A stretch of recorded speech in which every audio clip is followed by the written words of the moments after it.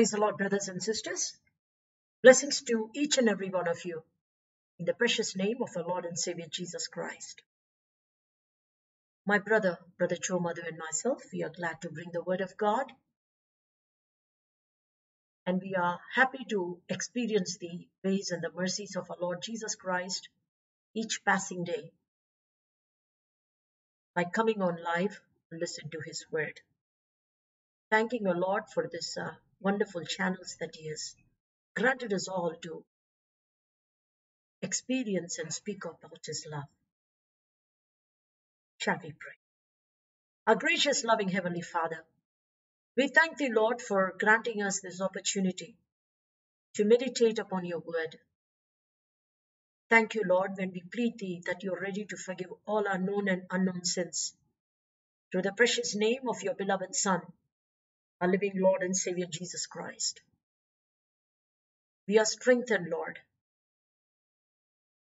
every second with Thy divine presence. Thank you for the way of You are leading us, lifting us up, upholding us, and granting us the grace to see You more clearly.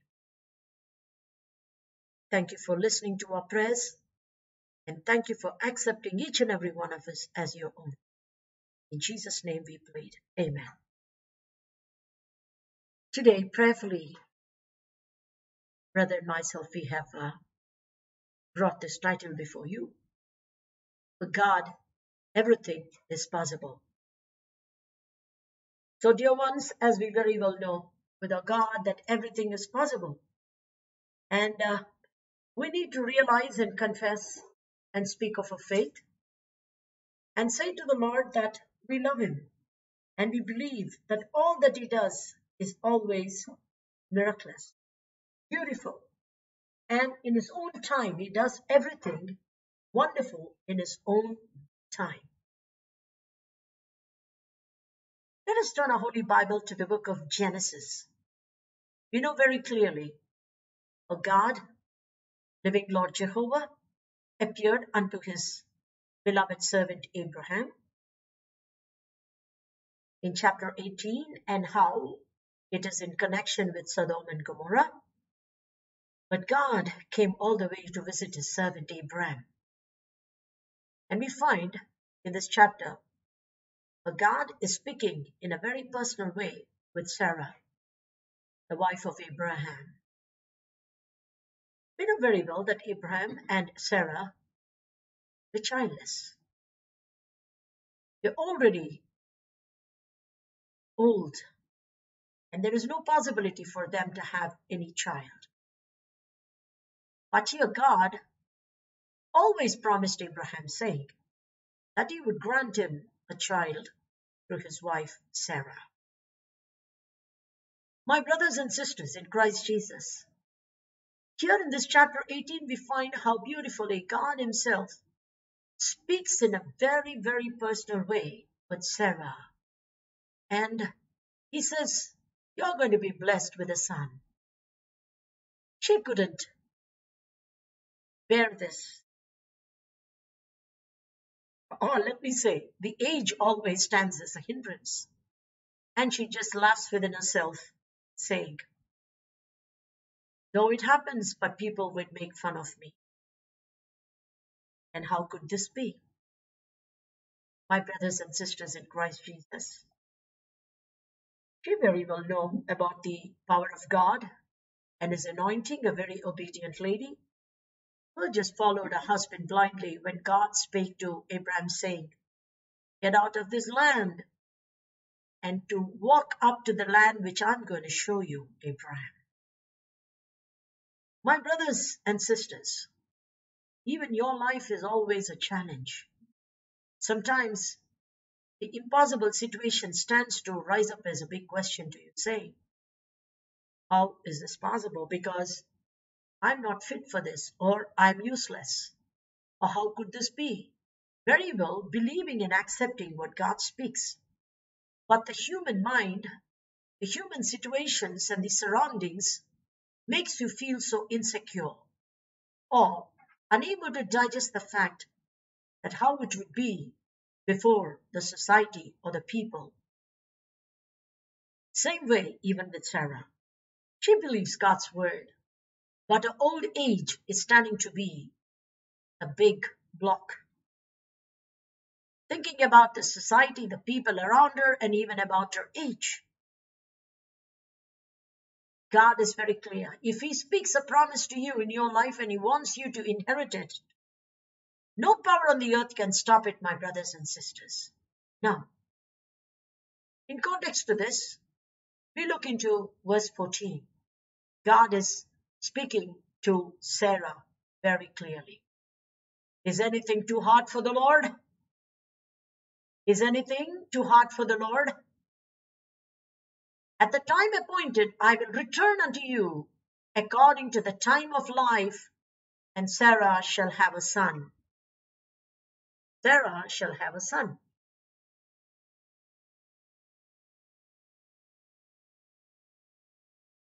Thank you, Lord.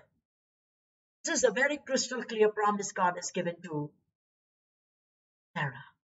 Let us go into the above verses. Even God said this. Let us read from verse 11. You will have a clear understanding. Now Abraham and Sarah were old and well stricken in age, and it ceased to be with Sarah after the manner of women.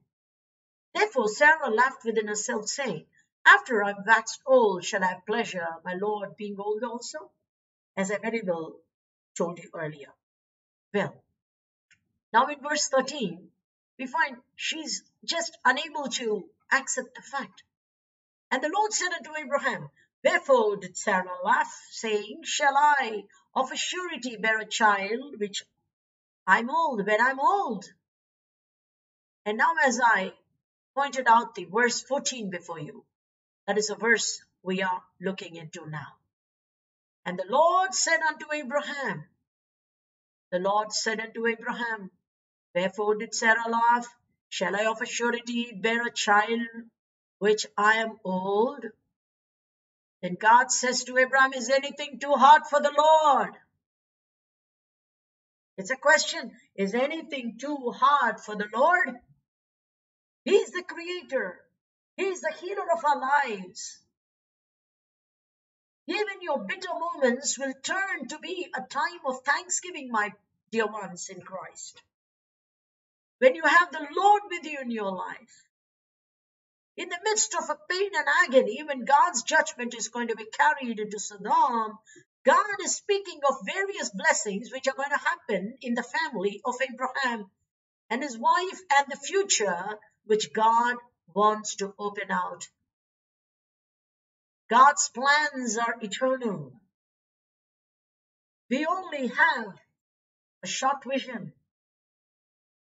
We only view it till a certain distance.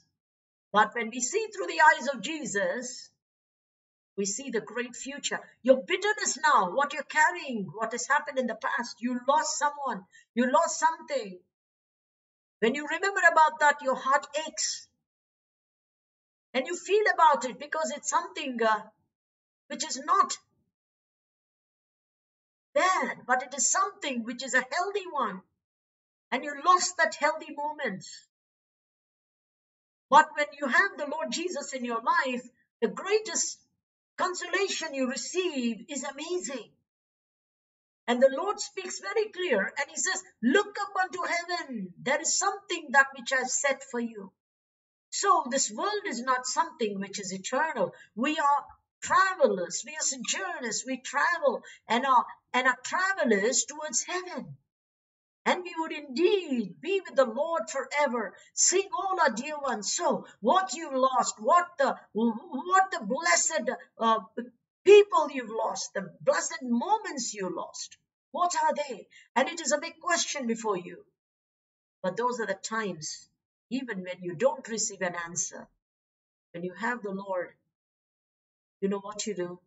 It's my Lord's will, and I just hand it over to Him various arising questions. But those are the times when God speaks to you saying, Is anything too hard for the Lord? I'm the one who's consoled you. I'm the one who's leading you. It's my will. It's my plan. Just stop worrying. Wait at my feet. Wait before me in my presence. Have the heart to understand and carry on, says the voice of God. When the Lord says, it is done. At the time appointed, I will return unto you according to the time of life, and Sarah shall have a son. Praise God. In Job 42nd chapter, verse 1 onwards. 42. Let us read the first three verses.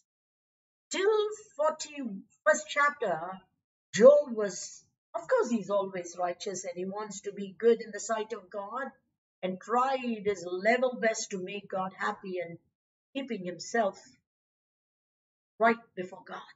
But the situations have prompted him to speak various uh, words. But when God begins to appear in 42nd chapter of Job, the whole life of Job changed.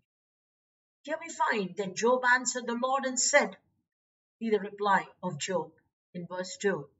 I know that thou canst do everything, and that no thought can be withholden from you, O Lord. He's speaking unto the Lord for all that which happened till 41.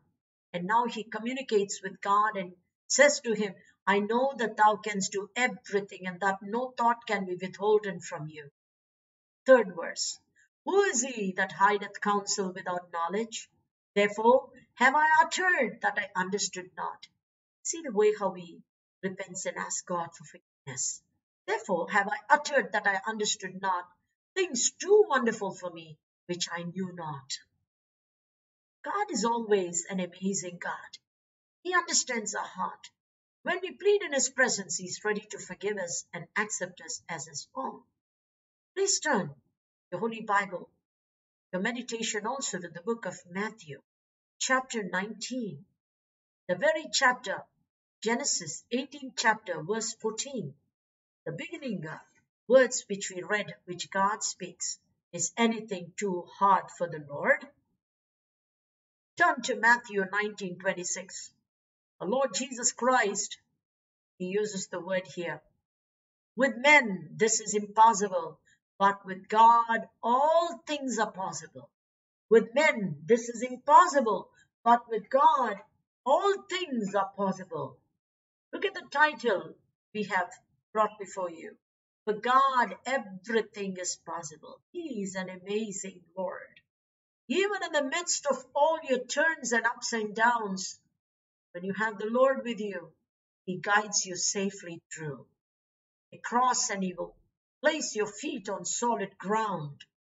Dear ones, let us read that 26th verse again, the last part.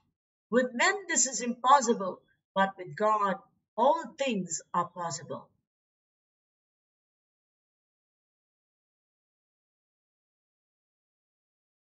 I want you to also turn your Holy Bible to the book of Jeremiah, 32nd chapter of Jeremiah, 32nd chapter, verse 17. Ah, Lord God, behold, thou hast made the heaven and the earth by thy great power and stretched out arm, and there is nothing too hard for you. What a beautiful prayer. Thou hast made the heaven and the earth by thy great power and stretched out arm, and there is nothing too hard for you. 27th verse. Behold, the Lord is saying, I am the Lord, the God of all flesh. Is there anything too hard for me? This is a question our Lord has raised to his people. 27th verse. To the disobedient, to the obedient, is there anything too hard for me? Nothing is hard for the Lord. Everything is possible with him. Is anything too hard for the Lord? Nothing is hard for the Lord. Also in 1926, with men this is impossible, but with God all things are possible. Do you accept this and let us all together say Amen. He knows your heart, He knows your cry, He knows your pain. He knows your burden, He knows what you are crying for. The Lord knows your agony. The Lord knows your pain, your trials, all that you are crossing through and the challenges you face. It's time that we seek His holy presence and pray. Are you ready to say, confessing your faith, being washed by the blood of Jesus Christ? Lord, I agree, even in my pain, even in my loss, even in all that, those trials I'm crossing through, I'm ready and prepared to say, Lord, everything is possible. Gracious, loving Heavenly Father, we come to your presence, we plead in your presence. We ask of thee that you would set everything right and beautiful, my God, in your own time. You're the Lord of all ages. Lord, and we come running to you with our outstretched arm. Thank you, Lord, for you are the one who speaks right and that which is right and good for us. Thank you, Lord. As you speak, you visited Sarah, you blessed her womb, and you blessed them as you promised a son and whom you have named as Isaac. Thank you, Lord. Even in dishonor, you always lift up your children's head. When they are, when they have lost something and when they are all alone, crying within themselves, you have opened out so many out there who are around them. When they see them, they get content and they are consoled. They are comforted, and we believe that all that which you bring is right. And we humble ourselves and say, Thank you, Jesus. Thank you, Jesus, for everything. For with God, everything is possible. In Jesus' name we do pray. Amen. Praise the Lord, dear brothers and sisters. Once again, Brother Joe and myself will be glad to bring the Word of God tomorrow night.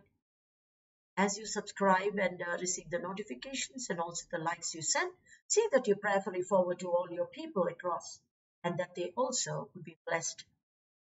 Praise God and God bless you.